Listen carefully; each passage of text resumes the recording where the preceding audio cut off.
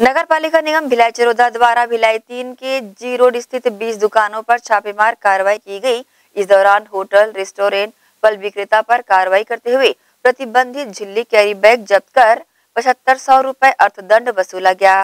निगम आयुक्त तो कीर्तिमान सिंह राठौर के आदेश पर निगम के स्वास्थ्य विभाग की टीम ने कार्रवाई को अंजाम दिया है।